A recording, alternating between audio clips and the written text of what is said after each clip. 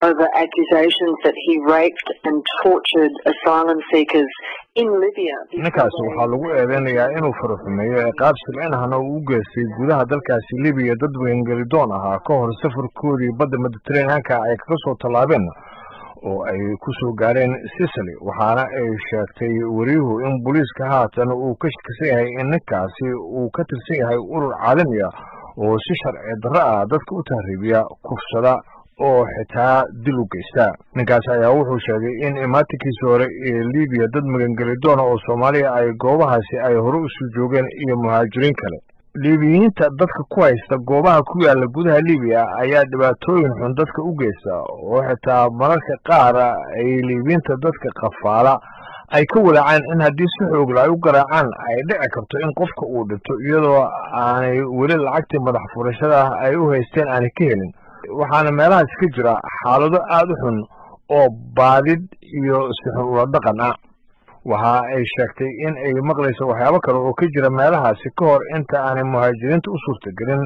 inay soo dhuuntaan oo ay soo baxsadaan doona ay uga soo tallaabaan badda mediteraneanka jordi cabwa ayaa weydiiyey weriye josephine macana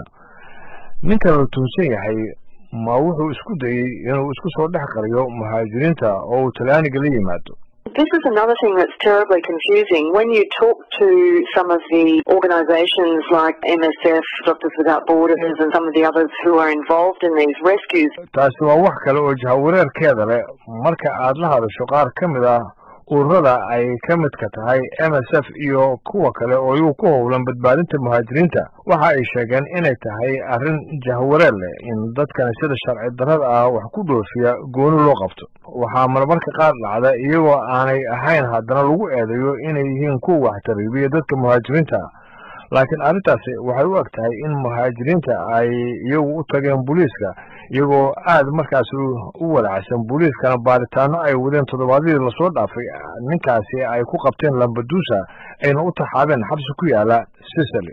Waxaa kaloo weydiiyey decabwa weriye josephine macana haddii ay maqashay dad cusub oo muhaajiriin ah oo la soo badbaadiyey yes, we've had some extraordinary numbers in the last two days, around 8,500 migrants. waxaan maqlay tiro aan caadi ahayn oo la soo badbaadiyey ilaa iyo siddeed kun iyo shan boqol oo muhaajiriin ayaa labadii maalmood ee la soo dhaafay dhanka koofureed ee badda mediteraneanka soo gaaray dekedaha talyaaniga